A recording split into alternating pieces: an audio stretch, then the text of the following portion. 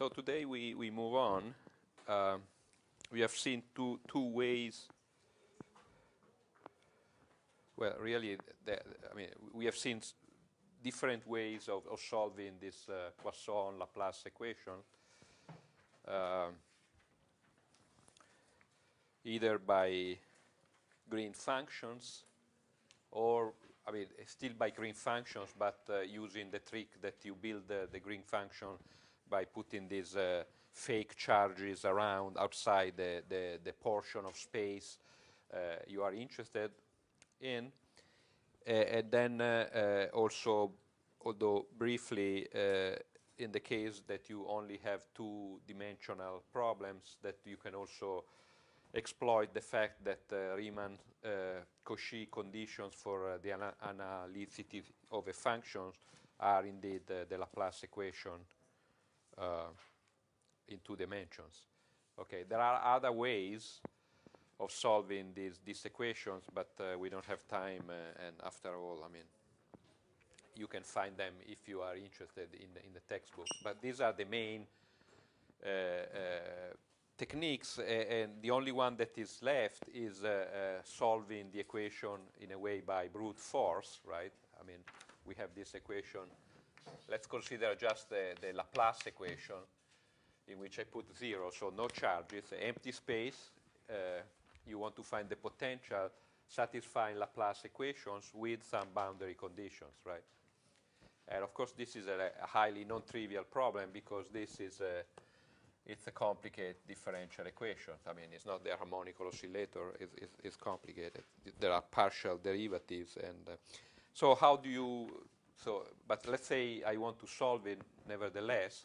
Uh, uh, and you know from uh, something that we did in classical mechanics that the, your only chance to solve in a systematic manner this equation if, if, if, if you can separate the problem, right? That is, that uh, your, so this is a, a, a, function, right, in, in space, in three-dimensional space. So in Cartesian coordinates, let's start in Cartesian coordinates.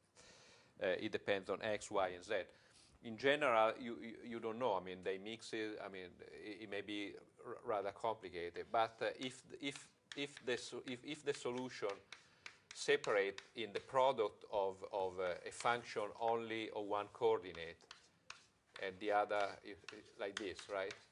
If your solution can be factorized or separate, I mean, this is a separation of variables, you understand, because uh, uh it's not the most general solution, but uh, let's assume that because of the geometry of the problem, this is correct. You can try and solve this equation by separation of variables because you understand that if you assume this, then this equation, what is this equation in, in, in Cartesian coordinates? So Cartesian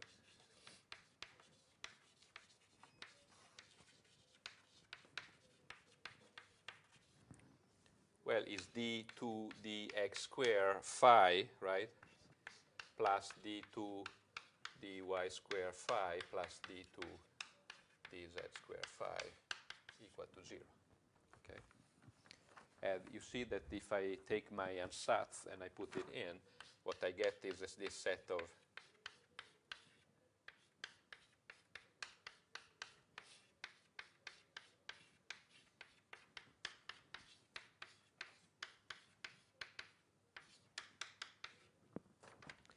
And uh, uh, because you're assuming that this only depends on e x and this on y and z, the only solution is that you can have if this is equal to some constant, this is equal to another constant, and the sum of these two constants cancel out uh, the constant that this part must be equal to, right? Like the Jacobi Hamilton equation. I mean, is, is, this is an equation in the same class. It's a differential equation with partial derivatives. And so again, you can try and solve it by. So this technique is called uh, separation of variables, I guess.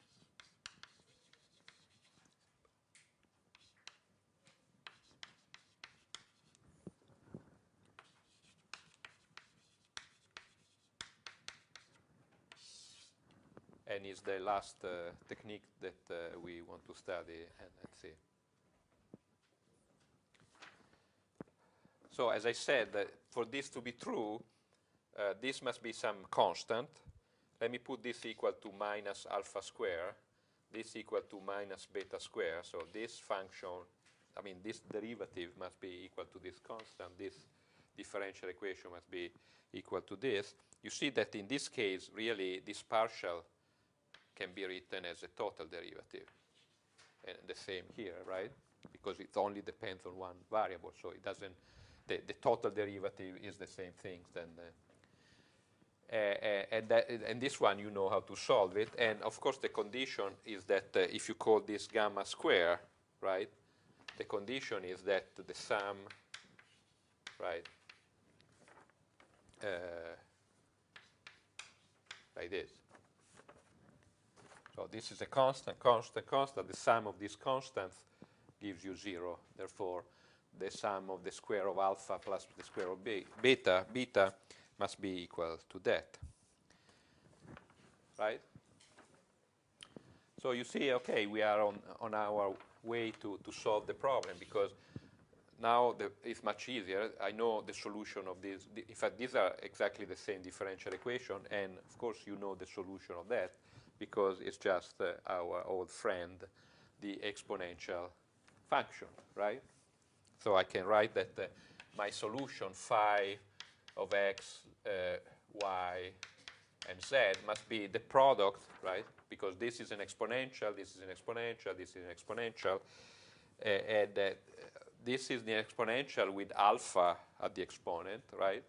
This, so I have my solution must be plus or minus because uh, it doesn't matter.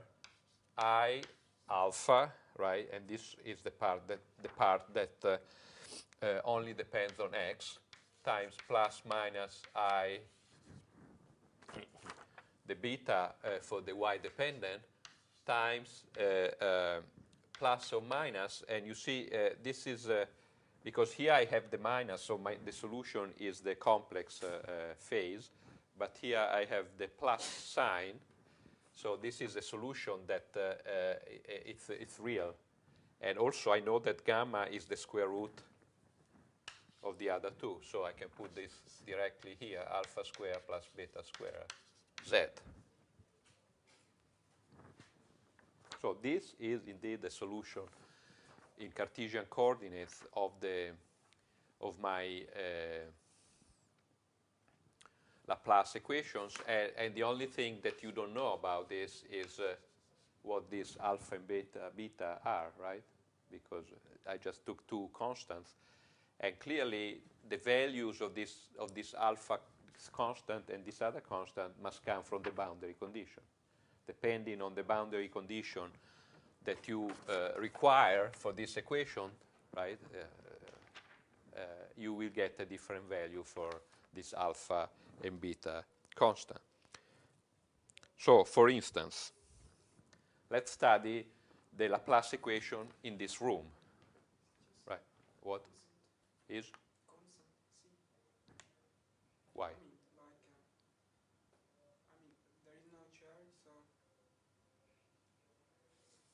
No. Okay, the boundary. If, if we impose the boundary condition, yes. like uh, the, the potential. No. Yeah, we are studying the potential, not the electric field. On the walls. Yes. Is zero. The trivial solution that satisfies this differential equation is zero.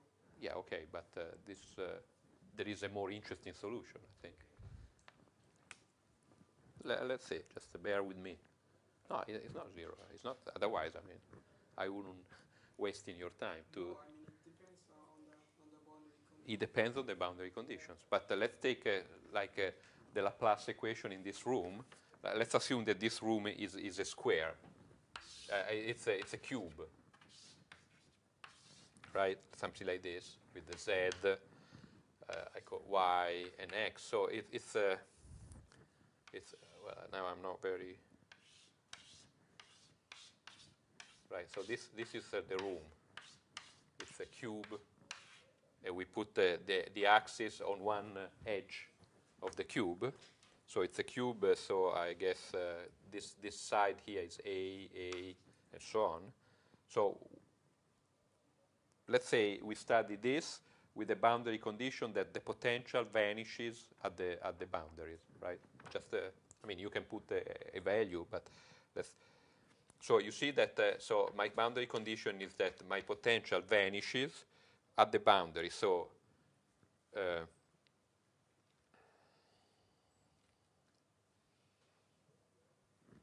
for instance, uh, at uh, so so you want it to vanish. Uh, well, x equal to a.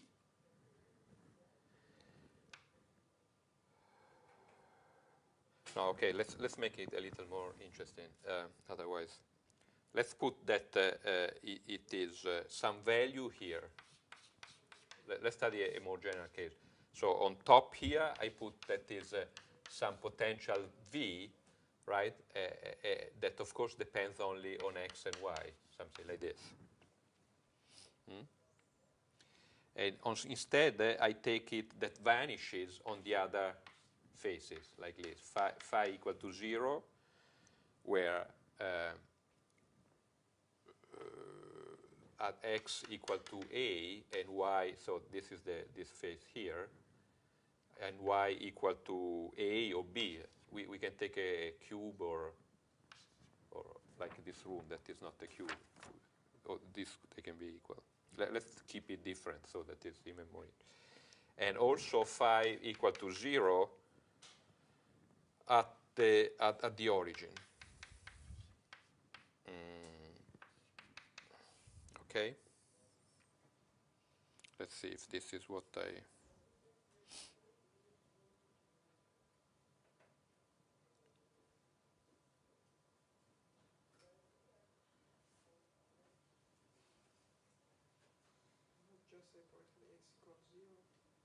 Mm.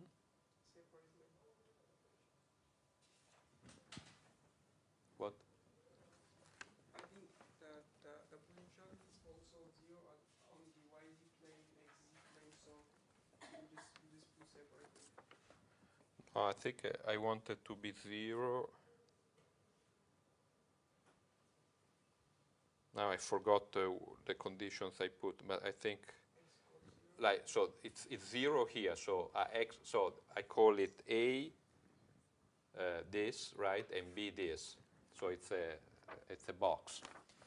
So I put it equal to zero uh, x equal to a okay so that means here and and here okay?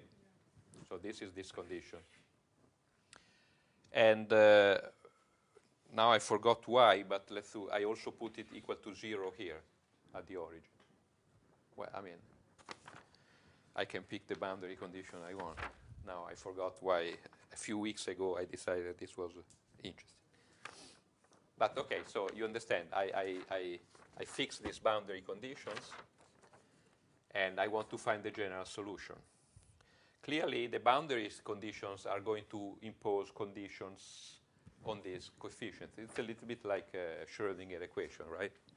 In fact, the uh, Schrodinger equation is an example of, of a differential equation like this. So you see that uh, uh, for the potential to, to vanish uh, at uh, uh, x, y, and z equal um,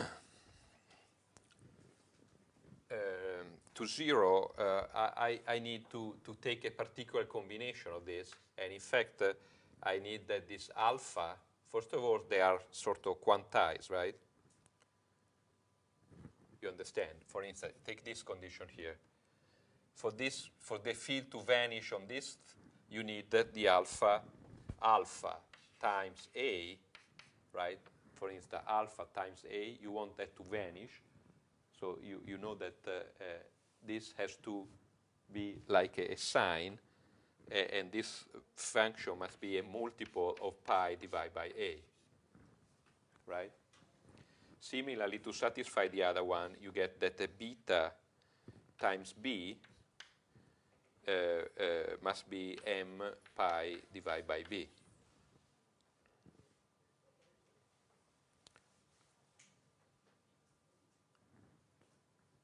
So you see they, I mean, you can put a sort of an index here because only if you have alpha that must be this uh, uh, sorry like this. So as I said alpha must be a multiple of pi divided by uh, a, by by a.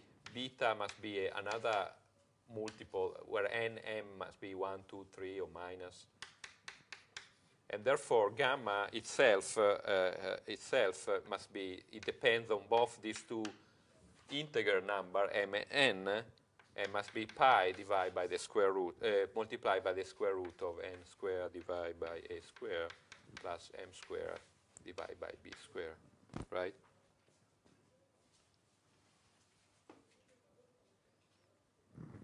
Okay?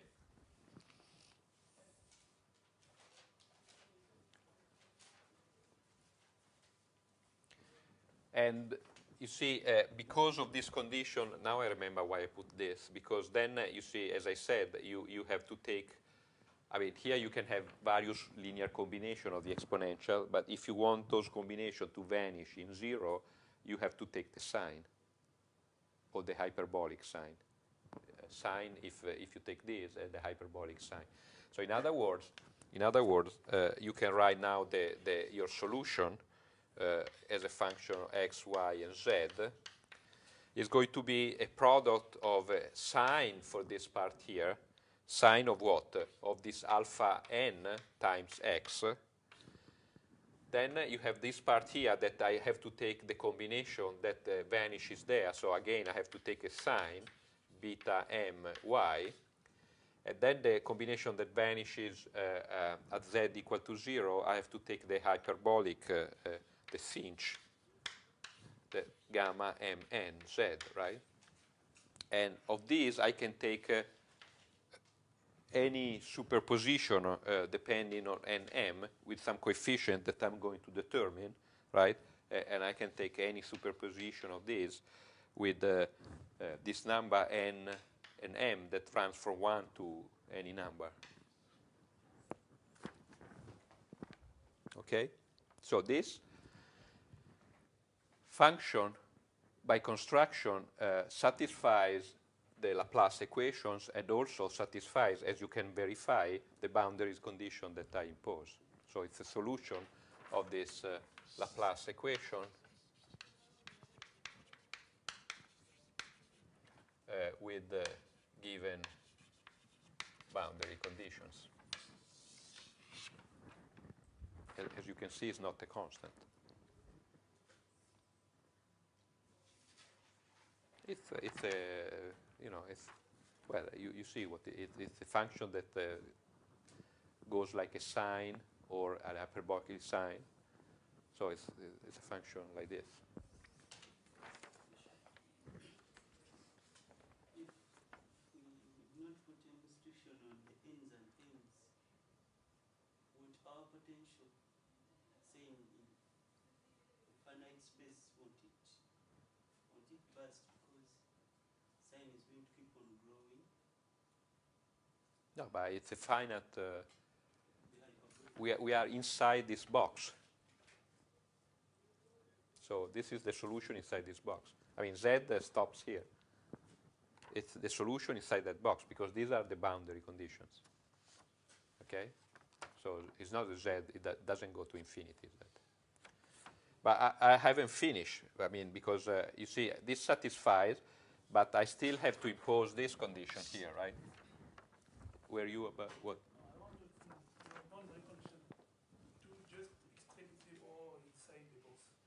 No, they, they are on the face. On this face, this face, this face, and this point. That, that's the boundary condition, so you are inside a certain volume. So, uh, I mean, we are inside the room. Uh, you are imposing some particular boundary condition on the on the walls, and the ceiling, and the and the, and the ceiling and the flooring. So, still, the ceiling boundary condition has to be uh, in, uh, uh, applied here, enforced in here, this is going to give a condition on this coefficient, okay? You see, this is still general, but now, I mean, it satisfied those boundary conditions. I still have some, some freedom, and this is uh, determined by the fact that then my potential must assume this, this uh, arbitrary function of x and y on the on the top. And uh, so this is, is uh, how is this done?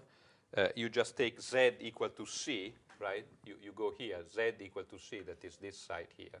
So a, b, and c. So you take that uh, phi, this function, is equal to vxy for z, z equal to c. So on the top side.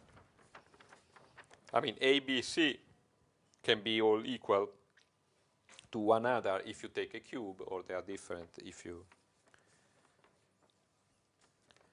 So, uh, so z equal to c. So that means that this is this sum here, right? And m equal one to infinity of sine alpha n x sine beta m y, and here I put uh, I put this c. So the sinh gamma m n c. This must be equal to this function here. And uh, I'm sorry, and here you have the a. I mean, everything is determined except this uh, this coefficients.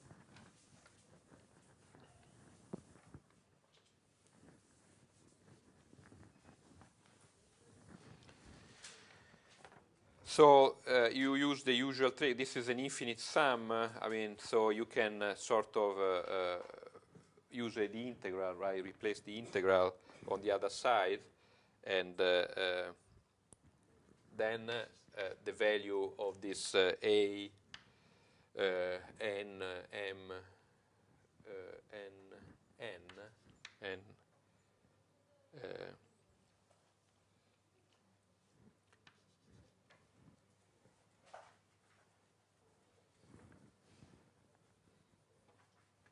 So you see, if you multiply both sides by si- sine uh, mm,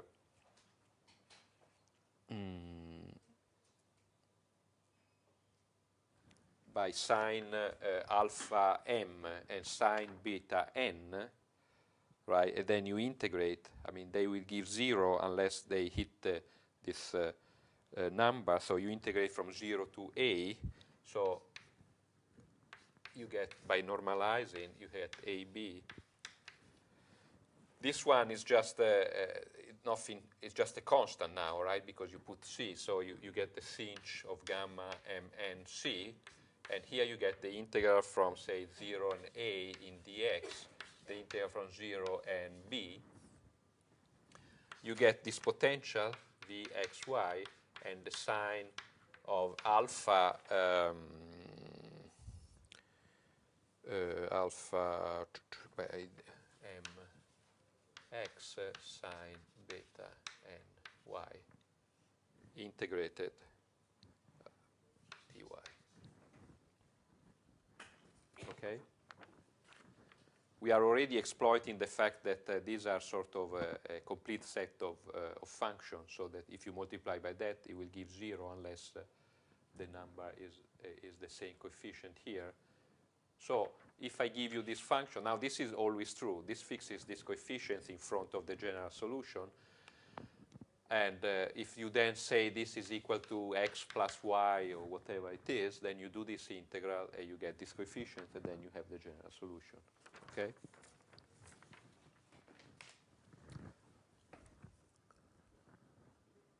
So you understand that you can solve many problems uh, already here as a class. So you can just all the possible problems in which you vary the value you put on top, and, and you just do this integral and you get the various solutions. Or you can change also the boundaries condition in a more complicated manner, uh, and you will get a more complicated results. But rather than doing that, uh, let's uh, study uh, a more interesting, in a way, uh, uh, uh, the same problem but in spherical coordinates, right? Because uh, that's, uh, for various reasons, is uh, more interesting because we are going to use this uh, to define this multiple uh, pole expansion. So this was in Cartesian coordinates, but of course we can do the same. We can do the same in, in spherical coordinates. Uh, uh, so clearly, you see, here I put boundary conditions that were uh, nice and easy to, to exploit in Cartesian coordinates, meaning that I define something But uh, uh, so I didn't say the value of the potential on a sphere around something because then you, you, go crazy in, in, in solving this problem in Cartesian coordinates. But of course, in general, spherical coordinates are what you find more often in real, in, in real situations. So let's do that. And to do that, we have to uh, study the Poisson equation in spherical coordinate. Yeah? According to the previous solution, we have seen the, the motion along the, the z. According to the boundary condition, came out to be constant. Uh, no, When we put in that. I put a constant c when I, I, I compute the function on the top, on the ceiling, right? It's not a constant, it's a constant in z, but uh, still it's a function of x and y. But what, what, what implication does it have on the solution? For example, if someone took a smaller, a smaller value of c, maybe another took a bigger value of c. No, c is whatever value you put. It's just a number that uh, you give me. I solve it for any c. Changing c doesn't change the solution. The solution was this one, right? Phi equal the sum over m, n, a, m, or nm, I guess, n, m, sine alpha n x sine uh, uh, beta m y sinh gamma m n z, right? This is a general solution, but uh, still you don't know these coefficients. Because I use sort of these two sides, but not the top side. Now, if I want this function to take that special value as z, so I want that phi for z equal to, I don't know, c is equal to a certain function v of x and y, then I fix these coefficients as I show you. Is that the question or? Okay, okay. Ca- Can you get, maybe if you could show us the, the real motion, because I'm seeing it's, it's like in x, y, this, it is trigonometric, but this other one, Well, that uh, is, is a hyperbolic sine in the z direction. It's a product of these three functions. Uh, I, I'm not sure I understand the question. This is a product of these three functions. I, I'm not sure I even see this function. I mean, it's complicated. But uh, along the fixed values of the other, this is like a sine, so it's like this. The other is like a sine, and the other is a hyperbolic function right? But uh, you see, it's a superposition of, an infinite number of these sine and, and hyperbolic sine. And the weight of each of these, so the weight of the one where alpha n is equal to pi over a, the one that uh, sine is 2 pi over a, you know, this depends on the value you want to, the function to assume there. So by imposing that, I fix the relative weights of all these combinations it's like the Fourier transform. I mean, uh, in fact, it, it, it's essentially, uh, you know, similar to the Fourier transform. You have a, a function represented by the, the infinite sum of elementary functions, and the weight of each of these elementary functions in the total function defines which, which is the function that you are describing.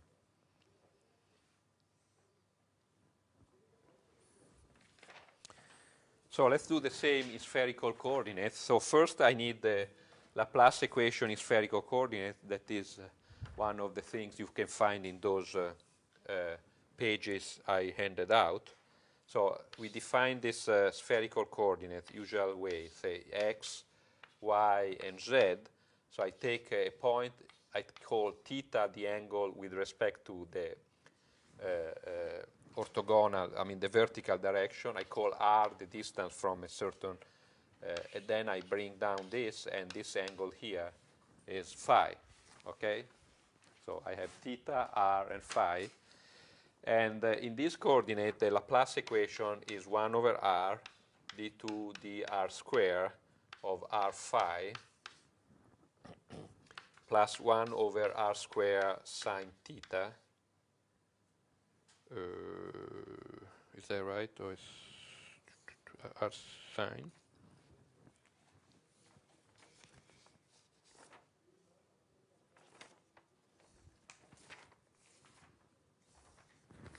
Check on those. Uh, I forgot. Uh, uh, I think it's good. Yeah, okay. So. Um, d d theta of sine theta d phi uh, d theta plus 1 over now the square of the sine d2 phi d phi square theta equal to 0.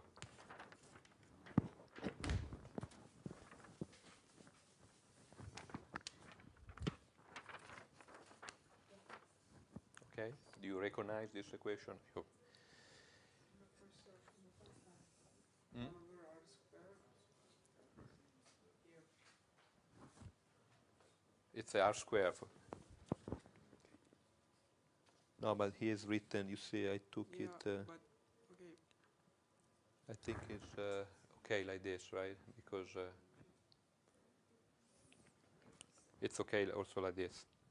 Because the, then phi, so I- call, again, I have to assume that it factorizes, that you can separate the variables. So I take u over r, so this is u.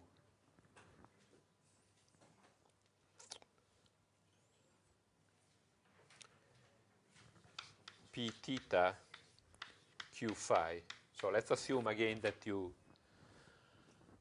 that you can separate uh, your variables and uh, let's take this form and you see that uh, uh, then you plug in here let's see uh, and then you see that first of all the one so maybe let's put it here 1 over q, so you multiply, you, you, you, you, you, try this solution, then you divide by this. So the, this term here, you, you must have that uh, 1 over big Q, that is the function depending on phi, d, do, d2, so this term here, q, divided by d phi square. This again must be a constant, and uh, uh, in particular, uh, let's call it minus m square like before, it was alpha. Okay. Then, uh, if you if you if this is true, if this is true, then the remaining function, uh, angular function p, must satisfy.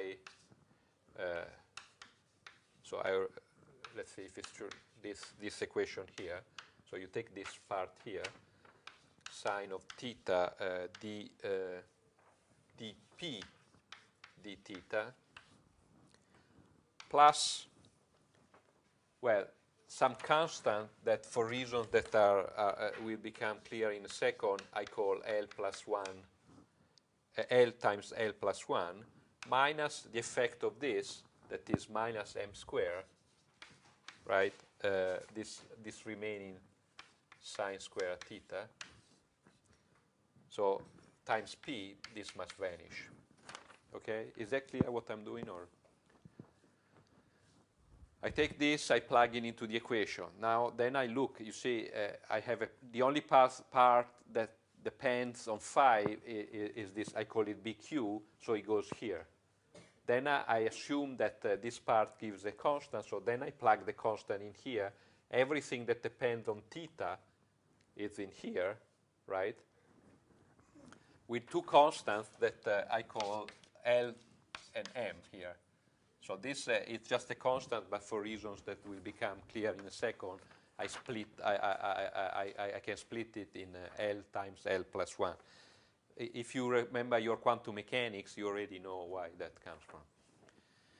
And uh, then, okay, I, if this is true and that is true, if, uh, that is true, then uh, for this equation to be satisfied, I also need that the second derivative of this function u of r, okay, with respect to r, minus this part minus L, L plus 1 divided by Uh, r square, right? times u, also this must vanish. So these three are equivalent to this equation under the assumption that the solution can be separated in the product of three functions, each of one depending only on one variable. So that's the reason why a partial derivative becomes a total, a total derivative. Okay? But I'm sure you have already seen this in quantum mechanics, right? Uh, so we can go quickly. Why, why are you laughing? I mean, this is like uh, I mean, hundreds of times. The, the hydrogen atom uh, is solved in this way, right? And uh, they, they, knew how to solve it because they have solved this uh, before. I mean, Schrödinger and company had solved the Laplace equations many times, so they knew what to do.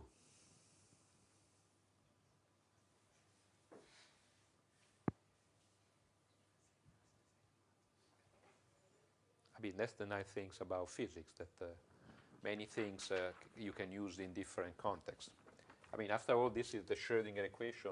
The time-independent Schrödinger equation is very similar, right?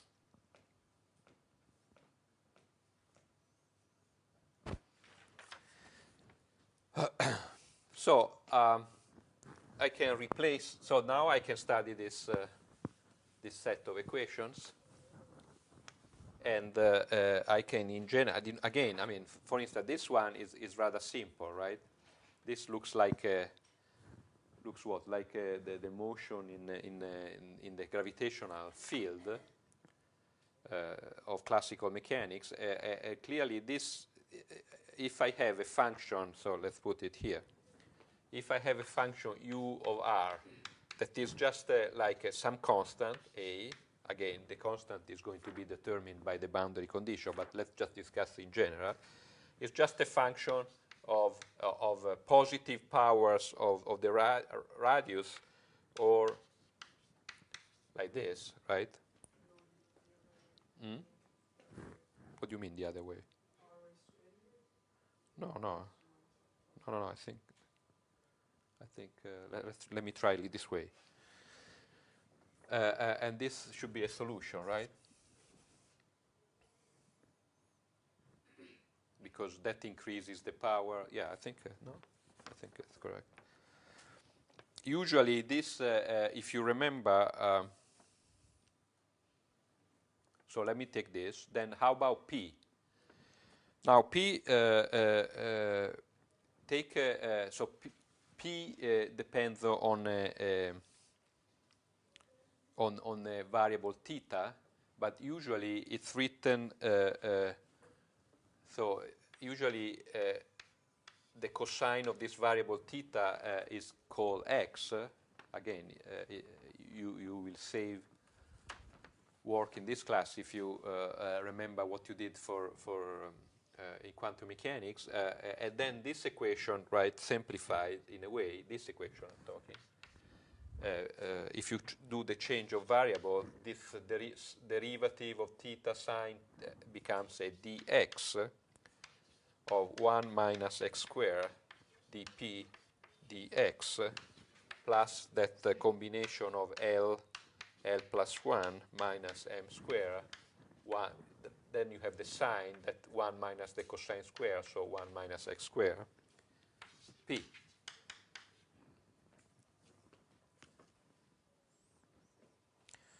So this P, the P, so okay, this is a differential equation. This one I knew how to solve it. This one I know how to solve it, but it's a little more complicated and it's sufficiently complicated that it got a name. This is called the generalized Legendre equation, the same Legendre that we already met. And, uh, uh, and uh,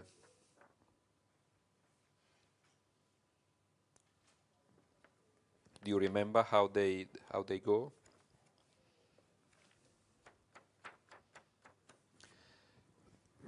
Do, you or you don't? Did you did you study this function or not? So okay, so just tell me. I mean, why is called generalize? So what is generalize here? Is this guy here, right? Because usually this is studied in a simpler form where you take the, so if you take m equal to zero, this simplify further to obviously just this term here, right? And uh, I don't know what is the name of this. Uh, I guess it's the Legendre equation, not the generalized. And this one has a solution, this uh, famous Legendre polynomial that uh, you see they have an index L that uh, takes into account this, uh, this coefficient. And then they depend on the cosine of theta, so they are function of the cosine of theta that I call x. And then they are uh, uh, identified by the particular value you give to this L, okay? And they are just polynomial, so they are called the polynomial Legendre. For instance, L equal to zero, right? This is the simplest case. You don't have, you don't even have this term. So what is the solution? Then you, you have a very simple uh, uh, equation there, because the P0 of x is equal to just uh, it's just a constant in particular if you normalize that uh, with the usual rule is just 1 and p1 so if you take l equal to 1 so I don't know how, how, how, p l equal to 1 right? So you have that you check uh, it's just uh, x. And then you keep on going. P2 x uh, with the appropriate normalization always is 1 half 3x squared minus 1. And, and, and, you can keep on going very long time because you have an infinite number of those things. Okay, so I assume that you are familiar then with this stuff, that you have used it many times in solving uh, problems, uh, I don't know, in quantum mechanics on, on the, but this is the place where, where they come uh, in.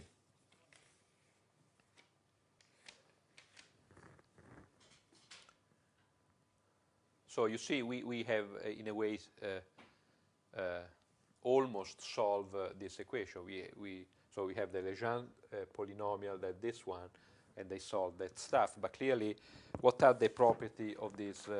So you see, we, we are doing what we have done before with the sine and the hyperbolic function. We introduce a set of functions, and these functions are, what is, say, it's a complete orthogonal set of functions, meaning that any other function can be built by a superposition of this set of functions. Okay? So in particular, this coefficient here, they come from the orthonormal condition. Okay?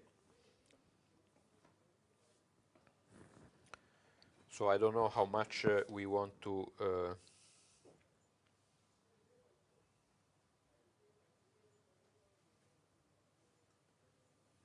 probably not much. Uh,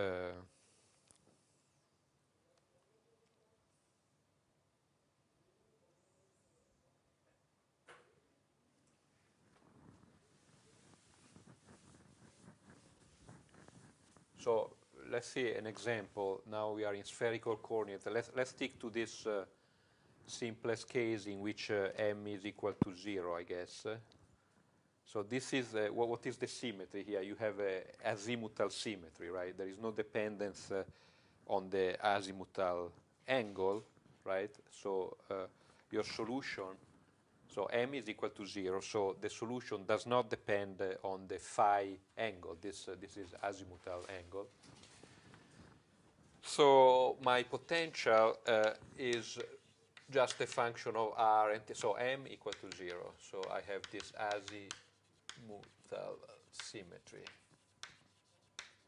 Okay? It's like a, a spherical symmetry with no dependence on. And therefore, I, I identify the elementary building blocks are this function and this. So this u function uh, and, uh, and the, the Legendre polynomial. And then the generic function is going to be a superposition. So I sum over all possible values of this L from 0 to infinity, okay? with some coefficient that are going to be determined again by the boundary conditions. Then I have this function here, a r l plus 1 plus b. Uh, of course, uh, uh,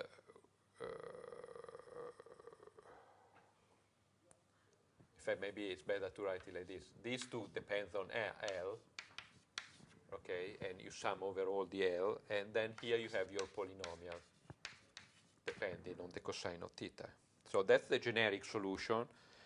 Let's fix uh, some boundary condition. Again, I'm, I'm doing the same I did before. For instance, I take uh, that phi, uh, uh, phi of r, so on a sphere of, of radius a, okay, is equal to some function.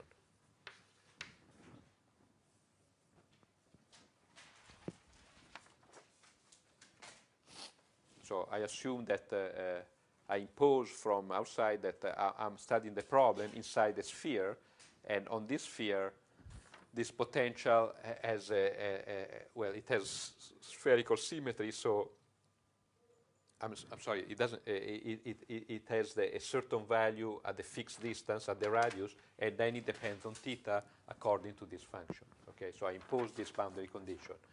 So it's on a sphere, and then on this sphere, my potential has a value depending on this angle, theta. And there is no dependence on the, on the other one because I'm taking the, this m equal to zero, okay? So you see that for this two, now I, I can, I can uh, uh, determine the coefficients, but first of all, uh, I want this solution to be finite for r equal to zero at the center, for instance, right? I don't want, so this term is not there. Therefore, I get uh, that uh, it must be a sum from L to L equal to zero to infinity or only this part here. So A, L, R, L plus 1, P, L cosine of theta. And then you do the, the same that we did. You integrate this, you multiply by the other polynomial, and you will get uh, the, the, the coefficients that you want, okay? So you see, it works uh, the same way. How about um,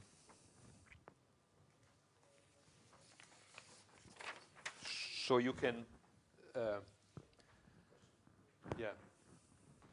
The fact that, the fact that we have an asymptotic symmetry means that uh, our, It does not depend on, on phi.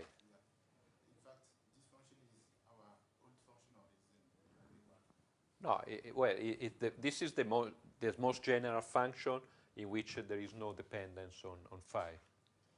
So in a second, I'm going to write the most general in which there is a dependence on, on, on phi. I just did this because it's simpler, but uh, in a second, I'm going to reintroduce the full function, the one that also depends on phi. It will add some uh, phi dependence, and uh, you already know that uh, when you also have that, this uh, Legendre polynomial become this, uh, uh, uh, how it's called, hyper, uh, hyperspherical, spherical, spherical harmonics, right? Uh, how, do you, how did you call them? Spherical harmonics, okay. So when, when, uh, when you reintroduce, well, okay, I'll, I'll do it in a second. First I want to, so then you, you, you multiply both sides. So this thing must be must be equal to v, v of theta when r is equal to a. Then you multiply both sides by p l prime. You integrate and you get the value of these coefficients. Okay, exactly as before. This is the generic uh, technique. Uh, so before we move to, so uh, let me give you two uh, exercises that, uh, two simple exercises uh, about these uh, uh, orthonormal functions.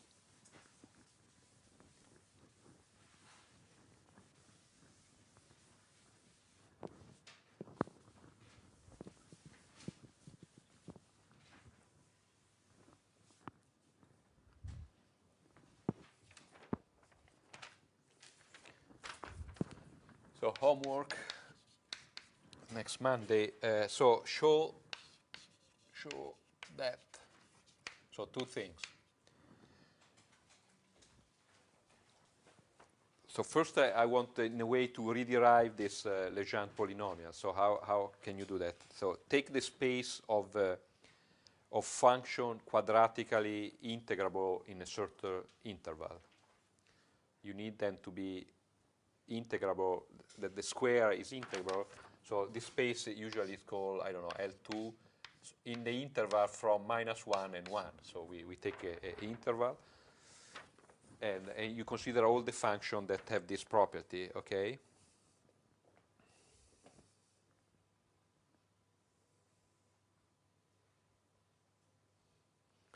So first uh, you should show that uh, the, the set of all polynomials, so x to the n, with n equal to 0, 1, and so on, so this the set of all polynomials, uh, uh, is linearly independent with respect to the scalar product, where the scalar product is the integration, as I did. So you introduce a scalar product here, two functions that are this polynomial, okay? You integrate in this interval, minus 1 plus 1, with the usual rule that, uh, okay, here they are real, but uh, you can define it.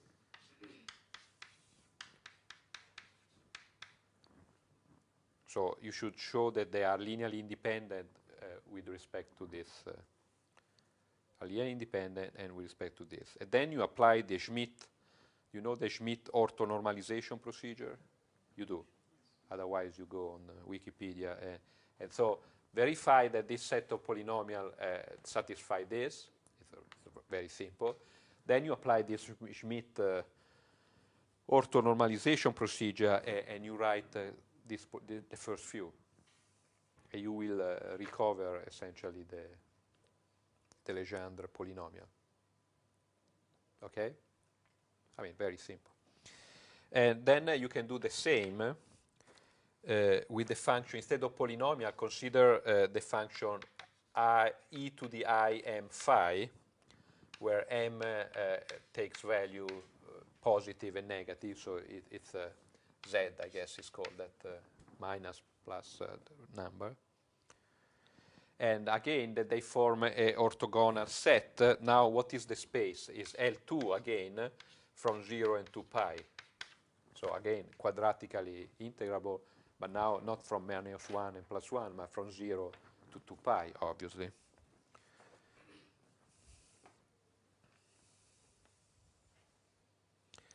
And uh, then check if they are normalized. Are they properly normalized? The answer is no, so you should find uh, what, uh, what is the coefficient here. You should multiply this function to have them orthonormal, normalized to 1. Very simple. I mean. Uh, yeah, but just do it for the, for the heck of it. Okay, so this just to now, of course, in, in a traditional class of electromagnetism, then uh, you know you spend two weeks on this uh, on this uh, uh Laplace equations, but we, we don't have time, and it also. Uh, and uh, as as you told me, you already sort of did some of these exercises in solving the the Schrödinger equation or whatever. So the only thing that is left that uh, indeed we need uh, is uh, what is the so I, I, we discussed this Legendre polynomial. What happened when m is different from zero? So when your your problem, your function, does indeed depend on phi, the third variable. Okay, so uh, uh, let me just state the result. Then you have to solve the full set of three equations. You have to plug in back the third equation that we sort of forgot. But that equation that unfortunately I erased, the one for Q, was very simple, yeah, because it was again an exponential, like before, yes. The? But you're talking about the, the homework or the homework? No, you just, I, I define the function e to the i phi uh, the product is like before. You take the integral from 0 to pi of this. So compute that integral and verify that you should get 1 or 0, right? You are not going to get 1 or 0, you are going to get a number, so you have to divide by the square of the number. Then uh, you, you get that indeed they give you the delta, the Kronecker symbol, right? That is the definition of orthonormal. Okay. So let me just, uh, so the, the Legendre polynomial uh, now uh, that uh, we use, they, they, they were just a function of x, uh, and then depending on the value of L, the constant, you, you, you, you had a different combination of this polynomial. But now they, they also depend on M because of that uh, things. And uh, uh, uh, when you plug in the proper normalization, again, so it is going to have a polynomial that is going to depend on L, but also of M, like it was here. Unfortunately, I, uh, so, so you remember, right? There was a term. Should I rewrite it or? Well, you have it in your. Uh, so it's not going to depend on only on L, but there is also a, a part that is uh, M square divided by. You remember? So this is a solution of d dx 1 minus x squared dp dx plus, before it was just L plus L times L plus 1, but now you also have this m square divided by 1 minus x squared. So this is p um, lm of x equal to 0, P L M x. So these functions here are solution of this more complicated equation. And also, you are going to have the piece that come from the big Q. So you are going to multiply this by e to the i, uh, I call it uh, m phi. So that's the set of function.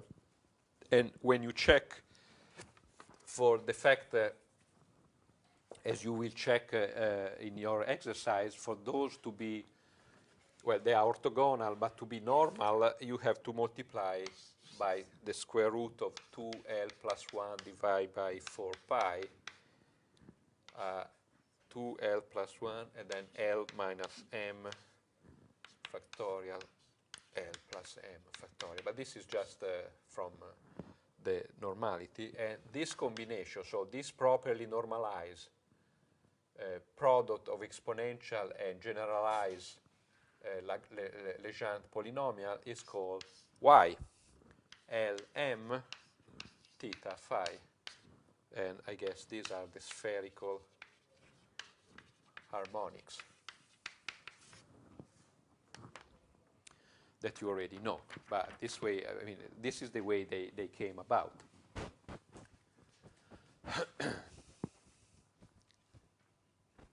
and if you go and check uh, the, the first few so for instance, if you take L equal to 0 and M equal to 0, then this is, a, again, it's, very, it's just a constant. And if you plug in the proper normalization, you get that this constant is, as before, the 1 over the square root of 4 pi. That is just the normalization of this.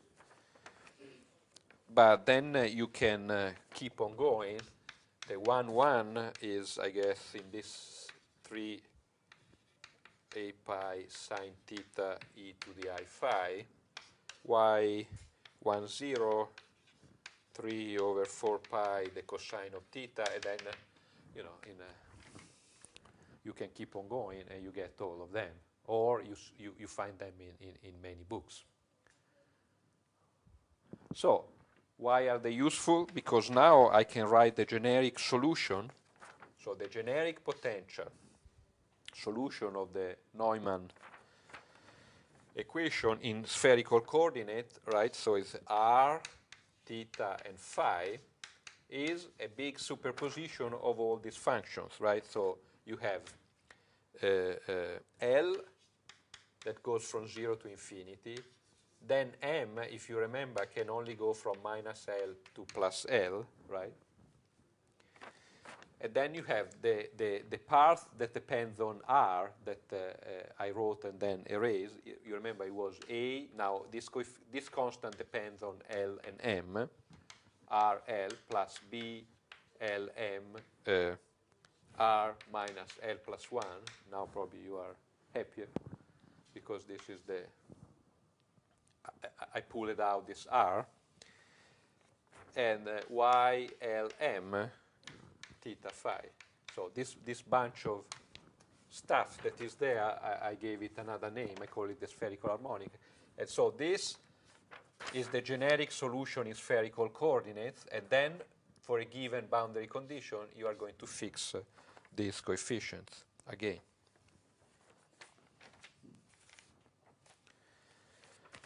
So again, I'm not sure we really want to uh, so again, uh, well, I didn't know whether to assign a lot of homeworks on this or not, and I guess I decided not because, uh, well, I don't know why. but uh, if you feel that you need exercise on this, you can go on the textbooks and you at the end of the chapter on electro electrostatics, you have just but exercise of this. I mean, of course. But uh, it's nice, and uh, that's the origin of these special functions, and uh, and uh, so on and so forth. Of course, the, the easiest application of this is you go inside the sphere, as before, right? You assign the value of the potential on, on some, um, for instance, the, in all textbooks there is this problem in which uh, you have two halves, two halves of a sphere, a different value of the potential, and then you have to solve it. So I encourage. We, we are not going to do that, but uh, if you, no, no, I mean, the weekend is supposed to be again very cold. If you thought that it was over, it's not over. you, you need to survive one more weekend, and so you can try this. But uh, okay, it's in all books, and also you find easily the solution. So.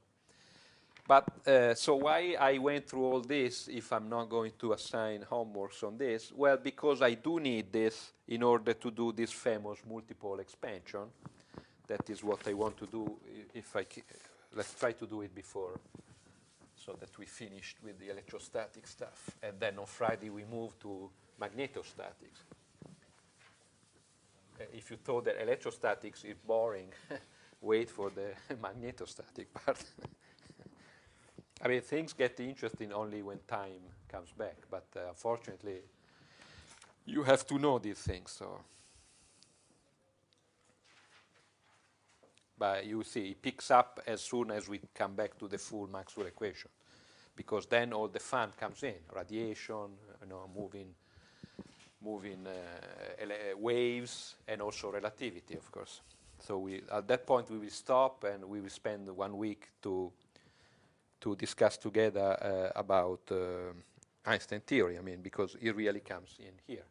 I mean, after all, the paper by Einstein was called on the electrodynamics of moving of, of, of, moony, of moving conducting bodies, something like this. That is really a, a bad title to give to such an important paper, but really he was wondering about Maxwell equations. But before we get there, uh, let's uh, okay, just bear with me and, and, and let's do this. That is really this is really important. I already sort of uh, expansion. I already mentioned it several times. Uh, so let's do it uh, uh, properly. properly.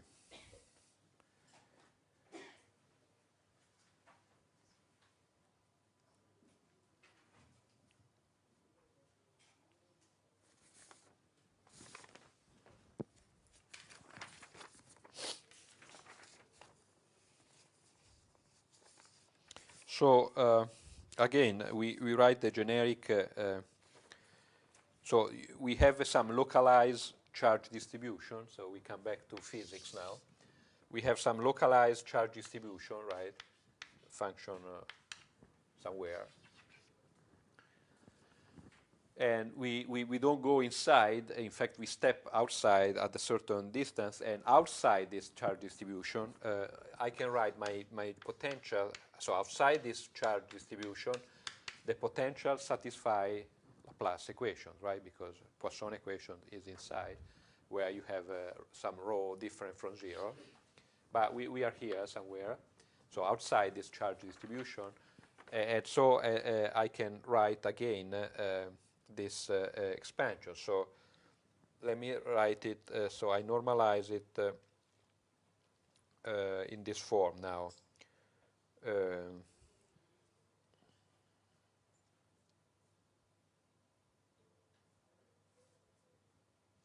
So I put this famous 4 pi epsilon naught uh, because I want to. So I, I can always multiply a constant in front of what I wrote before, and I multiply this because uh, when I solve the Poisson equation, I know that the potential is going to get this. Then I had this sum uh, for L from 0 to infinity, right? And then M that goes from minus L plus L. Then I had that some constant that now I pick to be this. Okay, so I'm. Then I have some coefficient. Now you remember I had the part going like R and a part going like uh, 1 over R. And now I'm studying this potential of a finite charge distribution, so it's a reasonable boundary conditions at the infinity that you have zero potential, right? Because I mean it's a finite distribution. If I go far away, i it's like uh, it shouldn't be there. So I only pick. Uh, so I take some some uh, coefficient that uh, I call b before, but now I call q because uh, this is the is uh, uh, is the uh, standard notation for this. These are going to be the the the, the the coefficient in the multipole expansion. These are going to be the multipoles. Uh, so let me call it now Q, what I called B before. Uh, and then I had this Y, uh, Lm, this spherical harmonics, right? And I, I, I'm taking only the part that goes like R, L plus 1. So the other one, I throw it away by using the boundary conditions, okay? So instead of having two sets of coefficients, the fact that I impose the potential to vanish uh, uh, like one of, of, of some, uh, you know, like, at least like uh, R, 1 over R, uh, uh, half, half the number, half the number of coefficients, okay? So this is slightly, th these numbers here are slightly different as before, I guess, because I, I'm, uh, I'm, I'm, I'm, sh I'm shifting, okay, I'm shifting some of this. Uh, okay.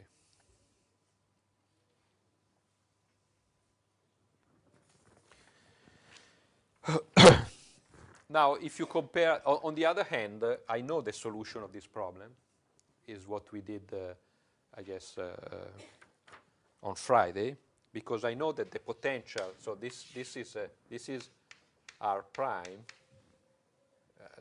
this is r prime and this is r. So r prime is, uh, okay, so in, a, in an arbitrary point r outside, I know the potential for this uh, charge distribution because this is just 4 pi ep epsilon naught uh, that the integral of the charge distribution r minus r prime integrated over the r prime volume. So this is r prime volume and uh, just by Coulomb uh, uh, is what we did on on uh, on Friday, if I remember correctly. Uh, by using Gauss law, that is the same then essentially the Coulomb force. I know the potential for that. Okay.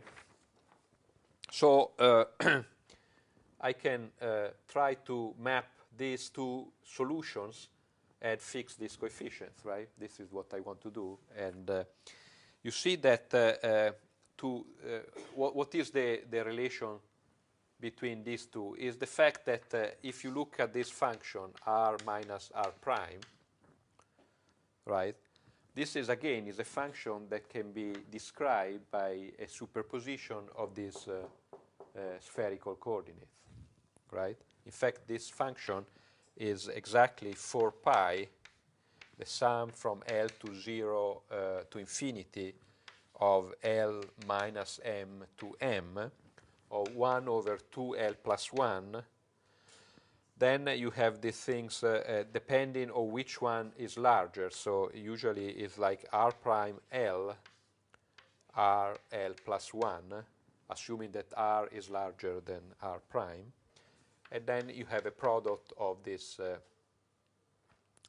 uh, a product of, uh, of, the, of the spherical harmonics, right? I mean, the spherical harmonics are a are a, a, complete orthonormal set, so you can expand any function on that basis, and uh, so I guess this is the result. So this potential here that we derive from Gauss' law, now I can plug in this expansion in uh, har spherical harmonics inside the integral, and I get uh, 1 over epsilon naught, uh, the 4 pi simplified is 4 pi, and then I get this sum over L uh, and M, I mean this double sum, 1 over 2L plus 1, then I get, uh, you see, I have to do the integral. I mean, this is the integral over volume. Here I have the dependence of the angular variables, and here I have the dependence on the radii. So here I get uh, a, an integral of this spherical harmonic Lm of theta prime phi prime, right? So primes are variables describing the, the, the, the position inside the volume. No, unprime is just, uh, okay? So here I have to keep this, uh, uh, this uh, R prime L, and that multiplies the charge density R prime, okay? This is the integral over R prime. So these were the prime, and these are prime. So this was theta prime, phi prime. This is theta and phi. These theta and phi are the angles of the position of r, not of r prime that I'm integrating over. So you can pull those outside the integral and you get this y lm of theta phi divided by this r that is not integrated over because it's telling me where I am in space outside the, the charge distribution. Okay?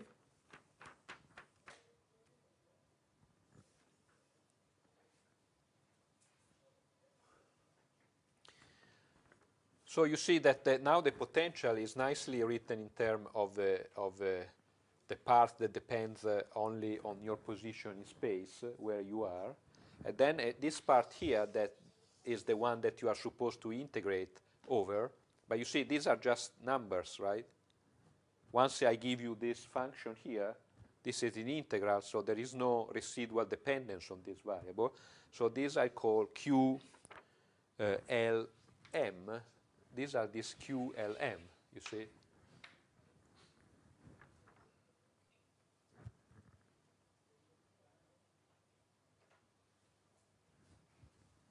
Right?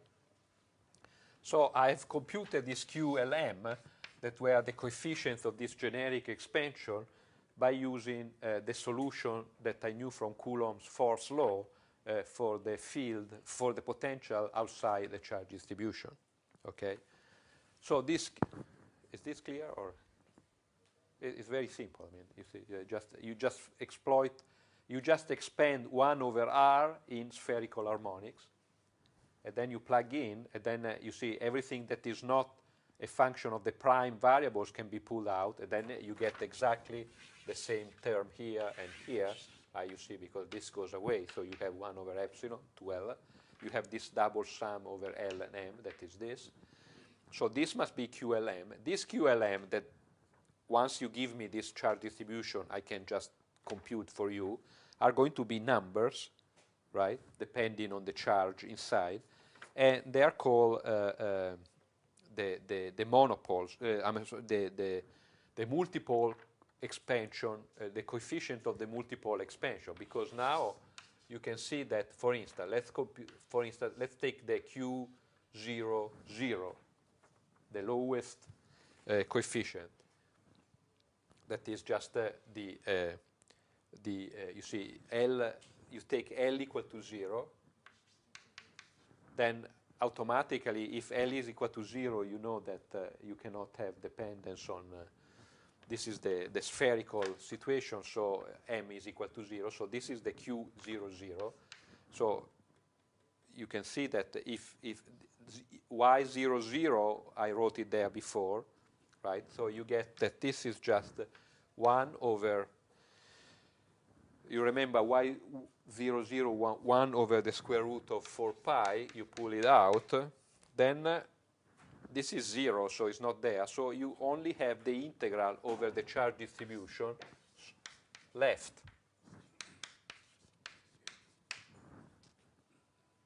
But what is this integral?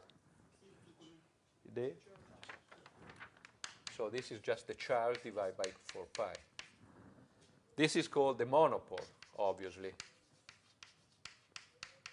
So the lowest coefficient in this multipole expansion that correspond to taking the uh, L equal to zero is called the monopole, and you see it's just the total charge inside this volume.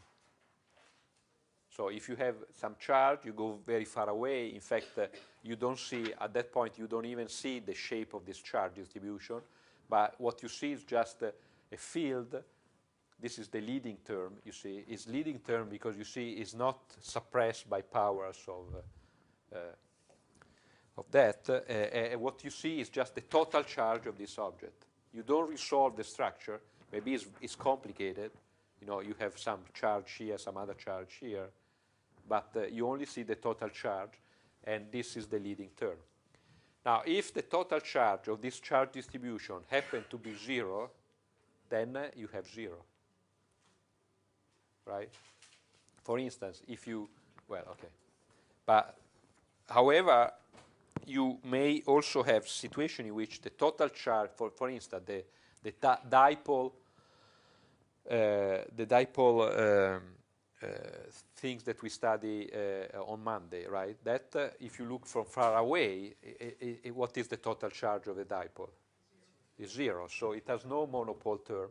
So actually, you don't see this term from far away, right? So you have to move to the next term in this expansion. The, the dipole is there, but it's not in the monopole. In fact, it's the next term.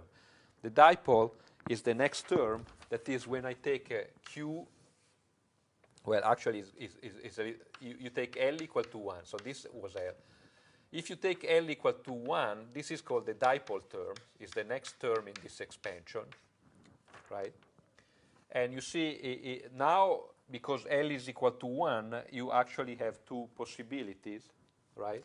You can have the Q, uh, uh, okay, 1, 1, right? You take L equal 1, uh, also M equal to 1, or you can take L equal to 1 and M equal to 0. So you have two terms, the Q11 and the Q- Q10. Again, you plug the, the, the, the explicit expression for the spherical harmonics in here, and you see that the Q11 is minus, so you get that coefficient that I wrote before, that uh, and then you have the integral but the integral now you see you have uh, uh,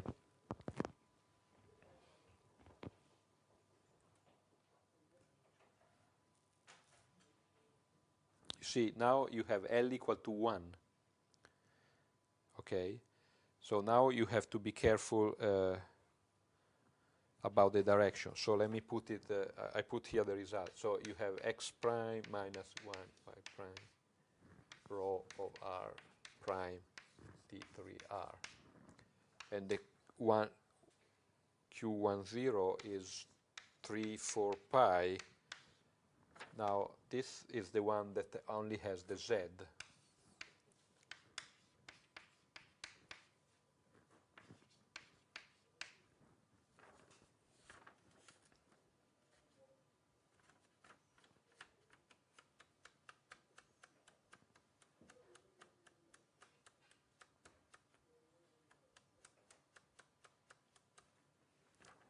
Maybe you verify that, I mean, as an exercise. So you understand, you have to take the function here now. Here you have a function that depends on the on the coordinates, And when you do this integral, you will see that if you take the 1, 1, you have the x, y directions, and in the other case, you get the z direction. Actually, these are combination. If you remember how we define the, the if you define p, you remember the dipole moment to be the integral over r prime, rho r prime, d3, d over the volume, right? Because this was well, we define it for single charges, right? But uh, you understand this is the generalization for a, continuous distribution of charge. Then uh, you see that uh, this, this term up here is minus 3 over uh, 8 pi is just the px minus the py, right? And this one here is just 3 over 4 pi square root of uh, the pz. So indeed, uh, these coefficients are what we call before the, the dipole moment.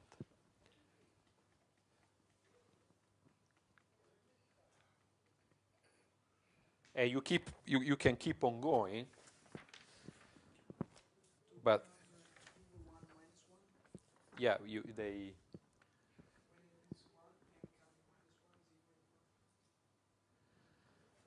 when it's one, it can be uh, yes, but that is is in the Q11, right? Because you you can check check uh, that this is correct. You get two coefficients.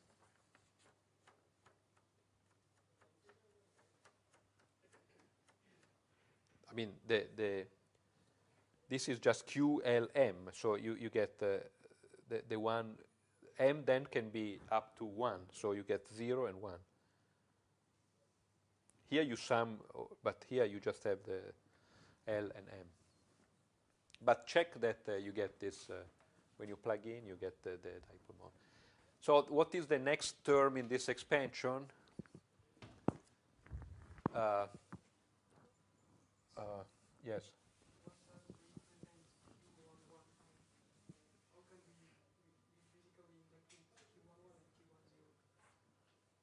Well, Q11, I wrote it here. This is the physical interpretation. These are the component components of the electric dipole moment in the xy direction. And this is the component in the z direction. So, uh, for instance, if you had these two charges as we discussed on Friday, uh, you get uh, zero for the monopole, but of course the L equal 1 dipole moment is different from zero, and you get uh, the result that, uh, in fact, if you plug then back here, you get exactly the potential that we compute together. You see, because here you get the, this p vector, and then essentially here you have, uh, you know, is the L equal 1, so you have the r square, and then here you get some cosine, of, uh, as we did before. So indeed, we are, we are recovering in a systematic manner what we did for a, a special example. So since we are Uh, uh, uh, we can, of course, we can keep on going for forever, but usually people stop at the well, this is the, uh, at the next, the next that is L, so we did L equal to 0, L equal 1, so the next one is L equal to 2. This is called the quadrupole.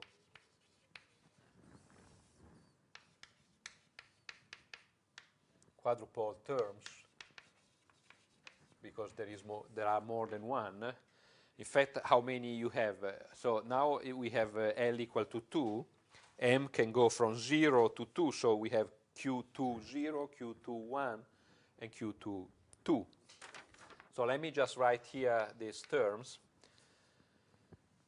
Uh, and uh, if you want uh, you can verify that this is the case by using this uh, you have to put here, for instance, y to 2, the complete expression, then do the integral, and you will see that you get that the q22 is with the correct uh, coefficients, something like, you, here you get uh, an integral like, uh, like before, but square, and then uh, whatever your charge distribution is, you get this. and uh, the Q21 is minus this 15 to 8 pi, then this has to do with the z direction multiplied by. So you see, this this is like a square or a dipole, because. Uh,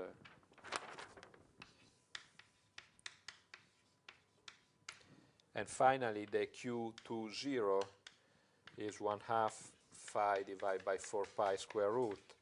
This has to do with the with the z direction, uh, and it should be something like this.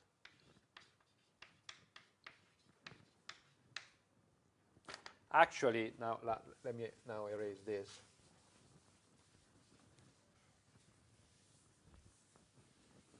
All these terms can be, eh, you know, as here I collect these using the the dipole vector, dipole moment. Here I can collect this by introducing a, a quadrupole moment tensor that usually is indicated by BQ, okay?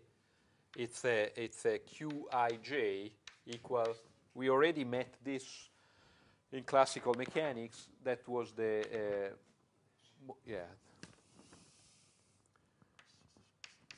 So you see, use, useful concept always return, or maybe it's the other way around, that we tend to use whatever we have found over and over. So if you introduce this, that is the quadrupole.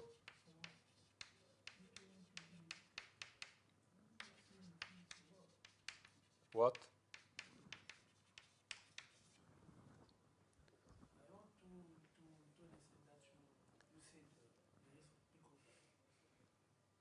So it has nothing to do with me. no, no, no. You said something that. Uh, Okay. D'accord. I want to. I'm asking you Okay. what this is in classical mechanics. Why? This is in classical mechanics. What we can we can call this? How we can call this? But you remember, you, you, you were here. No. You forget, okay. This was the, the momentum of inertia, right? Well, you see, th- this is, this, this, is a, this is a tensor that quantifies some distribution, right? And you see, before here you had the density of mass, that was quantify how the mass was distributed. Now you have a charge density, so this is quantify how the charges are distributed. So the idea is not very different. And uh, if you introduce this, then you can write this, uh, this coefficient as, as I did here, right, as combination of the dipole moment. Those are combination of the quadrupole uh, moment components, and it's a little bit complicated, but let me just write it here. So you see here you have the Q. This this could be a nice exercise, but uh, I mean it's you can do it, but we are not going to do it together because it's kind of boring. And this, so I put here the, the, the result, and then you can check it on your own time.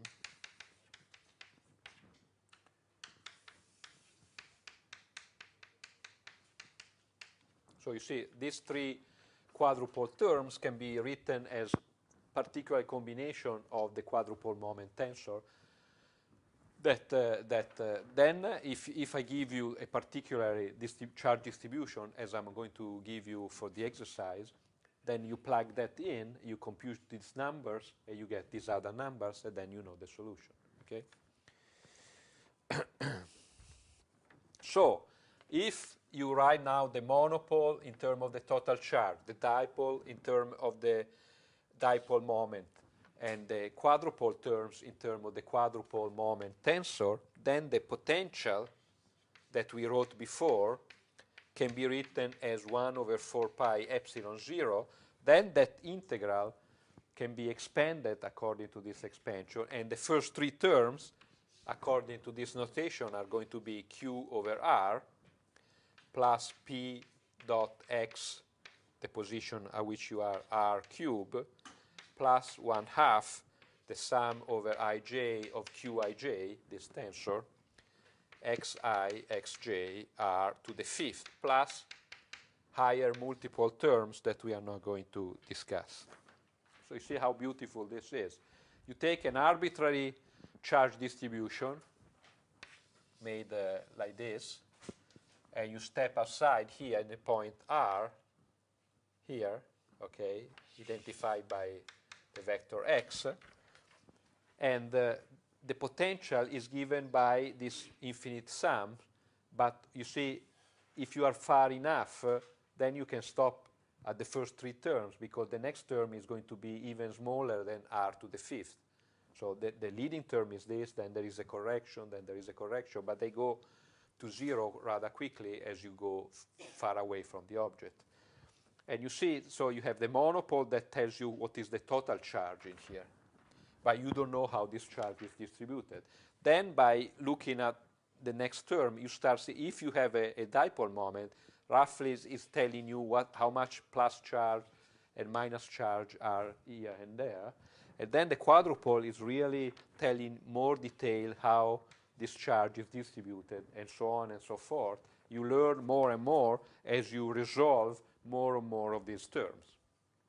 In most cases, the first two may, may be sufficient, but you understand that, say you have a charge distribution that uh, has total charge zero, then this is gone. Say a neutral object, but it's not is, is neutral, but it has a little bit of charge here, a little bit of charge there, right? But maybe this charge uh, is not plus minus, so it has no dipole moment. It's just uh, you know is distributed in such a way that also the dipole moment is zero. Then the first term you'll see is the quadrupole, and so on and so forth.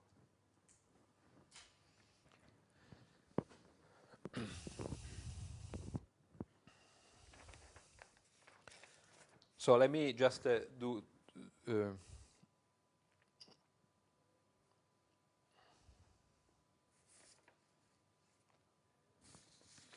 so let me just, uh, uh, yeah, Uh, give you a, a homework on this.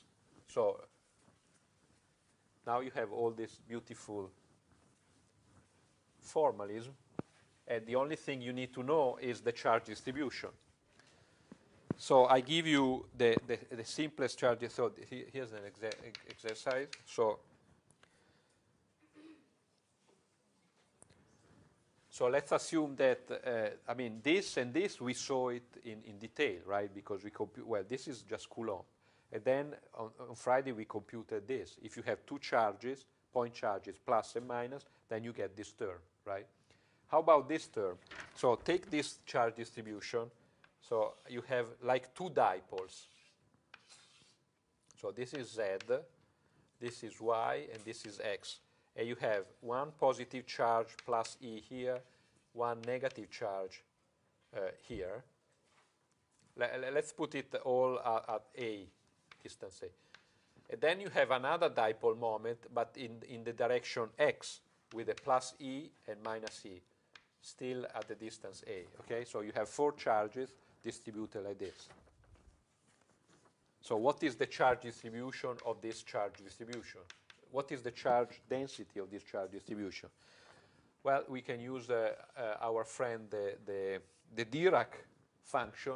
So you see they are in, uh, in the xy plane, so you have a delta z, right? So it, it's zero outside the plane identified by z equal to zero. And then uh, you have these charges. So you have uh, one charge in what? In dx, delta x that multiplies, so I guess I should uh, dy minus a plus uh, the other charge in, right? So these two are these two charges here. And then you have two more charges that are uh, where, where y is equal to 0, and then you have x minus a plus bx uh, plus a, right? So this, this is the charge density of four charges like this. So then I'm asking, okay, the dipole moment is trivial, so my, my, the exercise is compute the, the component of the, uh, the, of the quadrupole, the tensor, okay? So compute Q11, Q22, and all the others.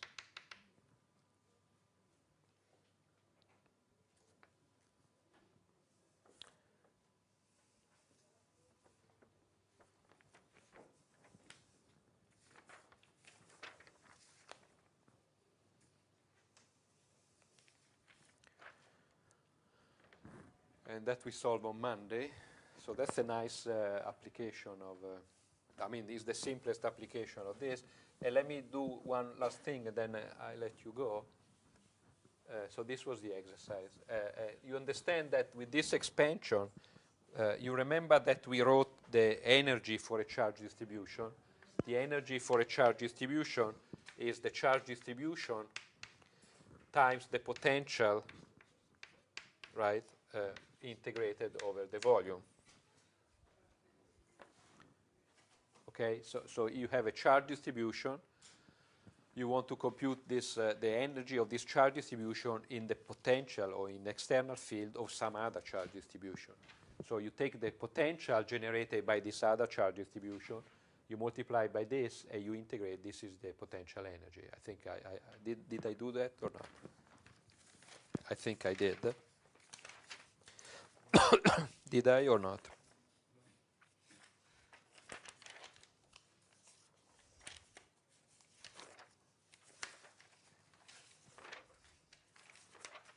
Okay, well, if I didn't, no, I did, I think. Yes, I did.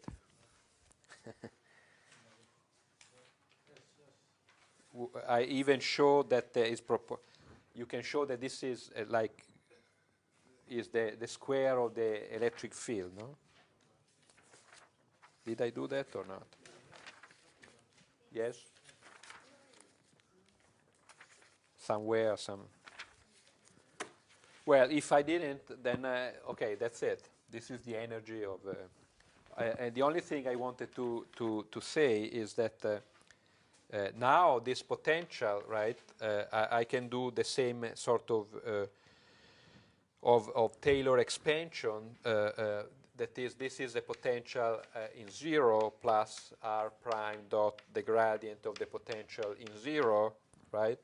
Plus one half the sum over ij from say 1 and 3 of xi xj, 1 and 3 because I have 3 x, y, and z, d2 dxi dxj of phi computed in 0, and so on and so forth.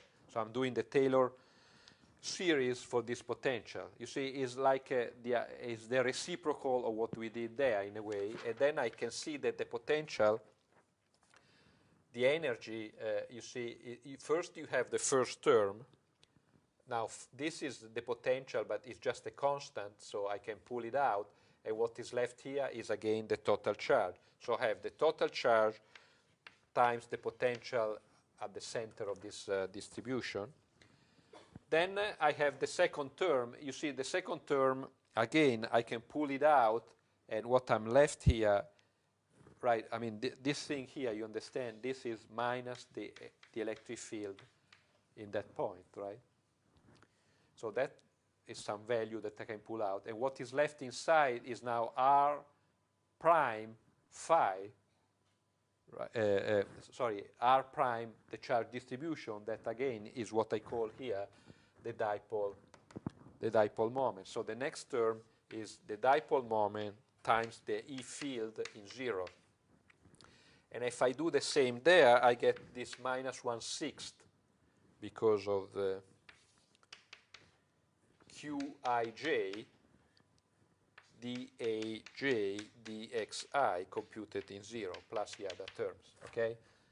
So I take this, I plug in inside, whatever these derivatives start acting on the charge density, generating components of the of the quadrupole tensors, and uh,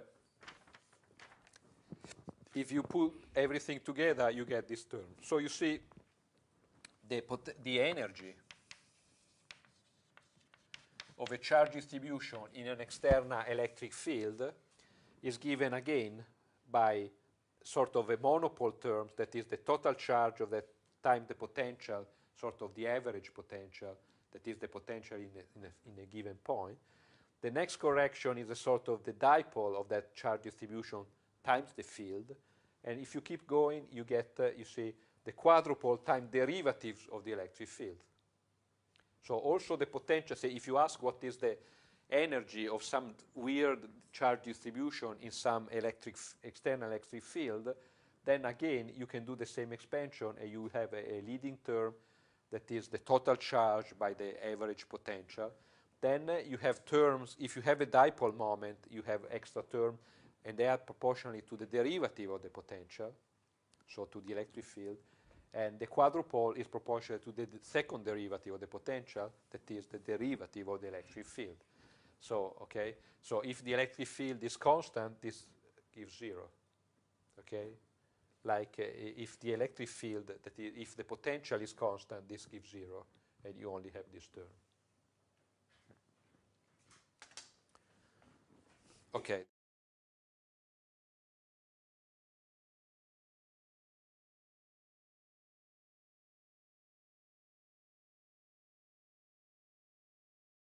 Música